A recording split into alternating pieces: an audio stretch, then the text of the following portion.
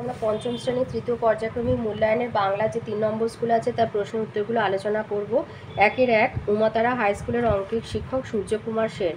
একের দুই, আকাশে থাক ঝড় বৃষ্টি, আর কিছু রোদ্দুর। একের তিন, দিনু ভট্টাচার্যের ছেলে কুড়োরাম। একের চার, একসঙ্গে লড়াই না করলে কেউ বোধহয় নিস্তার পায় না। একের পাঁচ, রাত্রে কেন ট্যাগ ঘড়িটা ডুবিয়ে রাখে ঘিয়ে? দুই আছে শূন্যস্থান পূরণ দুয়ের এক মাস্টার দাকে বাইরে থেকে দেখে বোঝার উপায় নেই, তিনি এত বড় একজন নেতা। দুইয়ের দুই গড়িয়ে যেতে সে পথে যে পায় মজা সে মুখ্য। দুইয়ের তিন, ক্ষুদিরাম সামান্য আয়ের গৃহস্থ। দুয়ের চার, তখন আমি একলা নই, থাকে না আর দুঃখ কোনোই। দুয়ের পাঁচ, পেট কাটা আর চাঁদিয়াল কেমন আকাশে ভেসে যাচ্ছে। তিনের একে চট্টগ্রাম শহরটি বর্তমানে বাংলাদেশে অবস্থিত। তিনের দুই মাস্টারদার আসল নাম সূর্য কুমার সেন। এখানে কুমার দেবে একটা মাঝে। এই যে এখানটাকে সূর্যকুমার সেন তিনের তিন চড়াই উতরাই রাস্তা কোন অঞ্চলে দেখা যায়? পার্বত্য অঞ্চলে বা পাহাড়ি অঞ্চলে? তিনের চার কোন ঋতুতে সাধারণত পদঘাট পিছল হয়? বর্ষা ঋতুতে? তিনের পাঁচ তাল নবমী গল্পটি কার লেখা? বিভূতিভূষণ বন্দ্যোপাধ্যায়। তিনের ছয় কোন মাসে তাল পাকে ভাদ্র মাসে?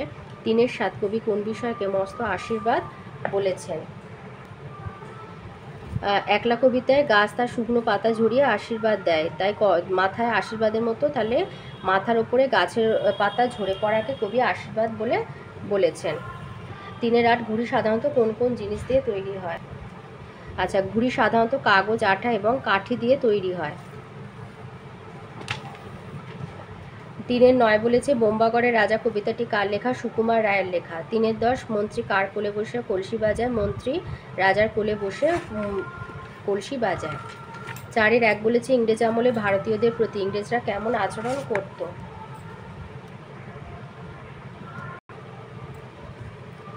ভারতীয়দের প্রতি ইংরেজদের আচরণ পরাধীন ভারতবর্ষে ইংরেজেরা ভারতীয়দের উপর নিষ্ঠুরভাবে অত্যাচার চালাতো। ভারতীয়দের হাড় ভাঙা পরিশ্রমের ফল ভোগ করত সাদা চামড়ার ইংরেজরা। কোনো রকম প্রতিবাদ করলে কপালে জুটত অত্যাচার। কোনো কোনো প্রতিষ্ঠানে ভারতীয়দের ঢোকার অনুমতিই ছিল না। এমনকি তারা রেস্তোরাঁয় ঢোকার ক্ষেত্রে কালো চামড়ার লোক ও কুকুরেরকে সমান চোখে দেখত। চারে দুই বলেছে কে কীভাবে জটি পিসিমাকে তাল জোগাড় করে দিয়েছিল।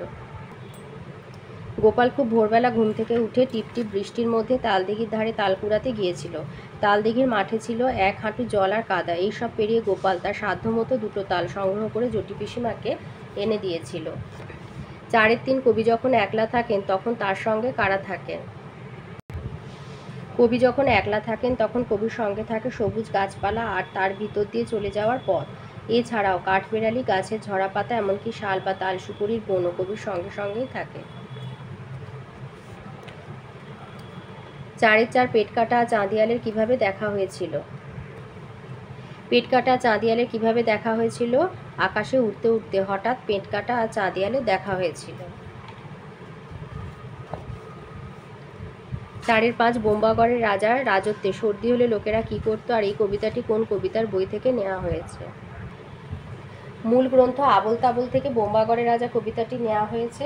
আর বোম্বাগড়ের রাজার রাজত্বে সর্দি হলে লোকেরা ঢিকবাজি খেত, আর টিকবাজি খায়।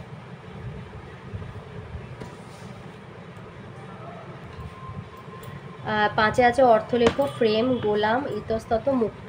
ফ্রেম হচ্ছে ছবি বাঁধায়ের কাঠামো, গোলাম বৃত্ত ইতস্তত এখানে ওখানে মুক্ত হলো স্বাধীন। ছয়ে এলোমেলো গুলো, শব্দগুলোকে সাজিয়ে লিখতে বলেছে হবে শাসন মুক্ত ছয়ের দুই তাল নবমী হবে, ছয়ের তিন হবে তাল সুপুরি ছয়ের চার হবে নাকানি চোবানি। সাতের একে বিপরীত শব্দ চড়াই, উতরাই, অবনতি, উন্নতি। আটে দিয়েছে কি কি পুরুষ, আমায় হবে উত্তম পুরুষ, তুই হলো মধ্যম পুরুষ। আর নয় আছে, গাছ আমাদের বন্ধু, এ বিষয়ে একটা অনুচ্ছেদ রচনা, এটা আমি কমিউনিটিতে পোস্ট করে দেবো।